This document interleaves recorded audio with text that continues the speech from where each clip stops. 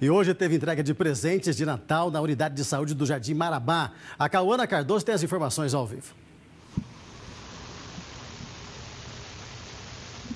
É isso mesmo, Cid. Nós estivemos lá hoje de manhã, na Zona Leste, o BS do Jardim Marabá. Tava uma festa muito bonita, a criançada muito feliz, recebendo algodão doce, também brinquedos. São mais de 500 brinquedos que foram arrecadados ao longo do ano e hoje estão sendo distribuídos para as crianças. O que me informaram é que vai até 4 horas da tarde ou enquanto durarem os estoques. Então, quem está nos ouvindo pode dar uma passada lá hoje até as 4 horas da tarde para aproveitar com as crianças, também com as famílias. Essa é uma iniciativa, Cid, das próprias funcionárias da UBS. Vamos ouvir o que disse uma das agentes de saúde, a Sandra Couto.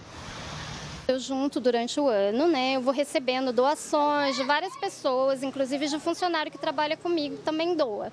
Eu vou restaurando esses brinquedos, né? É, arrumando aqueles que estão estragadinhos. Depois eu embalo tudo e no final do ano a gente se junta com a equipe. A equipe se junta financeiramente, inclusive, né? Para a gente poder estar tá alugando cama elástica, algodão doce, né?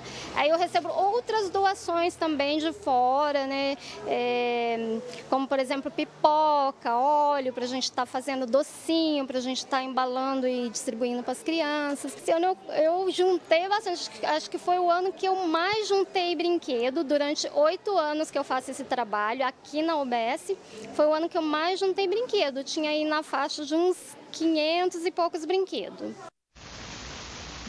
Cid, que ação linda, né? Ao longo do ano, então, todas elas arrecadando brinquedos, faz, ajuntando assim essas doações e conseguiram então mais de 500 brinquedos para distribuir para as crianças ali do Jardim Marabá. Já é o oitavo ano que elas fazem essa iniciativa, é uma ação realmente muito bonita que deixa o nosso coração cheio de alegria em ver a alegria das crianças, que esse é o verdadeiro espírito natalino, né, Cid?